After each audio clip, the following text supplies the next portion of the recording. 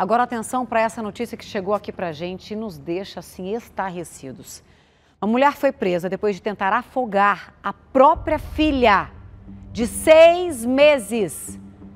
Vocês acreditam nisso? Olha as imagens do circuito de segurança da piscina do local onde essa mulher depois pega a criança. A criança está ali na borda, olha só. E ela vai jogando a criança dentro da piscina. O que, isso? As pessoas em volta perceberam o que estava acontecendo. É um bebê, meu Deus do céu. E entraram imediatamente. Isso aconteceu na cidade ocidental, na região do entorno de Brasília.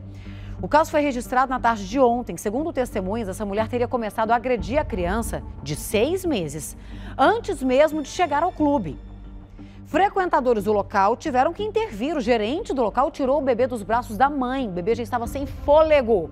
Olha lá, o momento em que a mãe vai afogando a criança, vai puxando a criança que está ali na borda da piscina para dentro da piscina.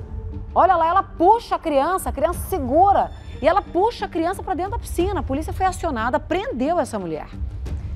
O bebê ficou sob os cuidados do conselho tutelar e foi encaminhado para o hospital municipal da cidade ocidental. A mãe, inclusive, está no semiaberto, cumprindo pena por roubo. Pelo amor de Deus, gente, uma mulher dessa tem que ser presa e ficar lá até apodrecer. Obviamente, ela não pode receber a guarda dessa criança no novamente. Ela não pode ter a guarda dessa criança. Ela levou a criança para dentro da piscina e começou a afogar o próprio filho, gente. Ela já estava batendo, de acordo com testemunhas, ela já estava batendo nessa criança, um bebê de seis meses, antes de chegar no clube. Misericórdia, gente, esse mundo está perdido mesmo. Pelo amor de Deus. Que bom que essas pessoas estavam atentas, perceberam e conseguiram salvar a criança. Já estava sem fôlego.